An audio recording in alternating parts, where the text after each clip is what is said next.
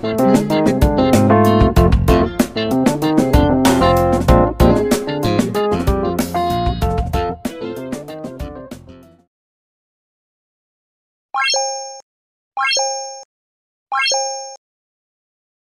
everyone. Welcome to ZimWatch TV, your trusted source for Zimbabwean news and stories from around the world.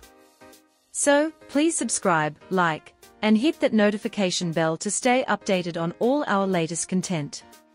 Headline, ZANU-PF threatens war with Zambia over territorial integrity and national interests.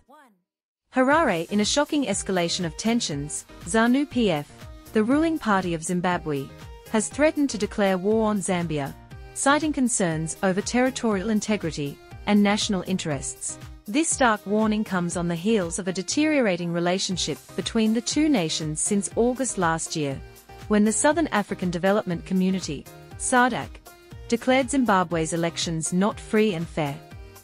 George Charamba, spokesperson for Zimbabwe President Emmerson Mnangagwa, took to social media platform X to issue the ominous statement. We've tolerated nonsense long enough, Charamba wrote. The wise will look at the Russia-Ukraine conflict and extract valuable lessons before it's too late.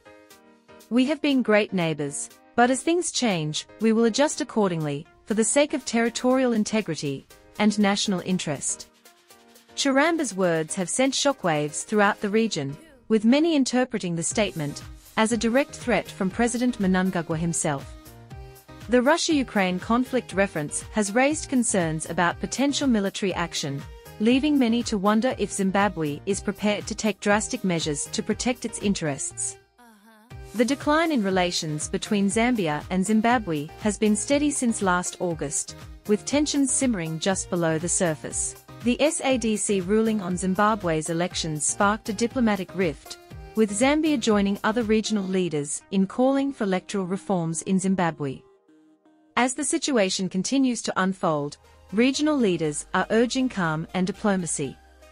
The international community watches with bated breath, hoping that a peaceful resolution can be reached before things escalate further.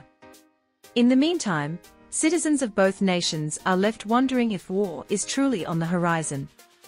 Only time will tell if cooler heads will prevail or if the situation will spiral out of control.